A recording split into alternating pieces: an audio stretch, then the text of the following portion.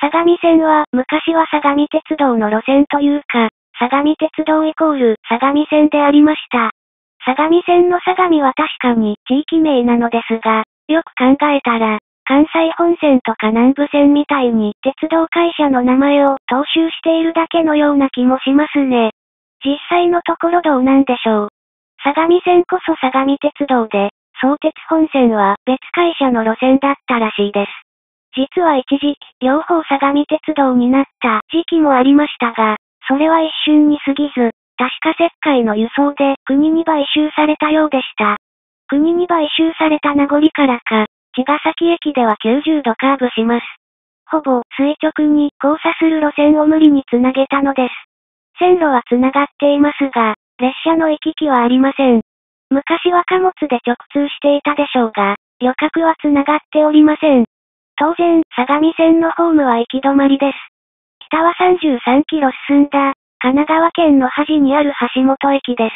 八王子まではさらに10キロ近くあって、そこからは横浜線に乗り継ぐ形になります。1日3本直通するみたいですが、基本的に橋本止まりです。沿線の都市は海老名くらいです。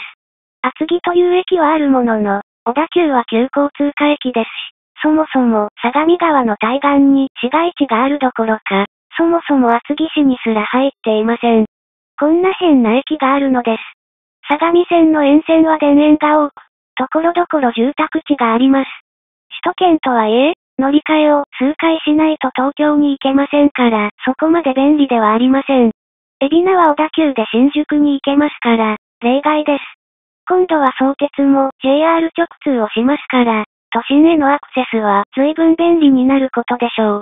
まあ一部を除けば、都心から離れた田園地帯で、神奈川も必ずしも都会ばかりではないということを分からせてくれます。国鉄時代は扱いが無ごくて、キハ26などの機動車が走る完全なローカル線でした。これこそ相模鉄道にいた方がマシだったのではないかというレベルでした。事態が変わったのは、民営化後、川越線などと同じく電化をして、電車が入れるようになりました。その車両が当時の最新鋭の205系。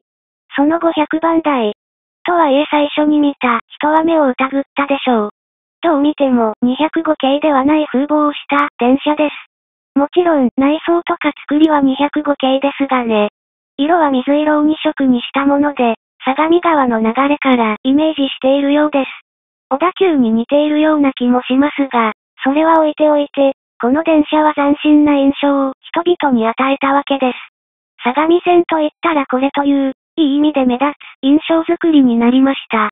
標準型、電車も十分優れていますが、やはり独特な電車の方が覚えてもらいやすいですからね。先頭車には貫通扉風のデザインがありますが、地下鉄には乗り入れないし、そもそも窓にしかなっていません。ドアはついていないのです。この電車も登場してそろそろ30年、電化したのが30年くらい前だから、その時からずっと相模線を牽引しています。最近リニューアル工事を施しました。これによって相模線はこれからもこれが走るということを示したのです。頼もしい限りです。こう話しているうちに興味が湧いてきました。今度乗る機会があればぜひ乗ってみたい電車の一つです。では今回はここまでです。ご視聴ありがとうございました。ここまでご視聴いただき、ありがとうございました。この動画シリーズ、毎日投稿をモットーに続けております。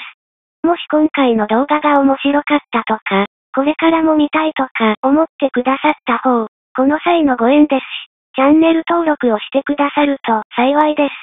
チャンネル登録が私にとって制作の原動力となります。いかがでしょうか？チャンネル登録、よろしくお願いします。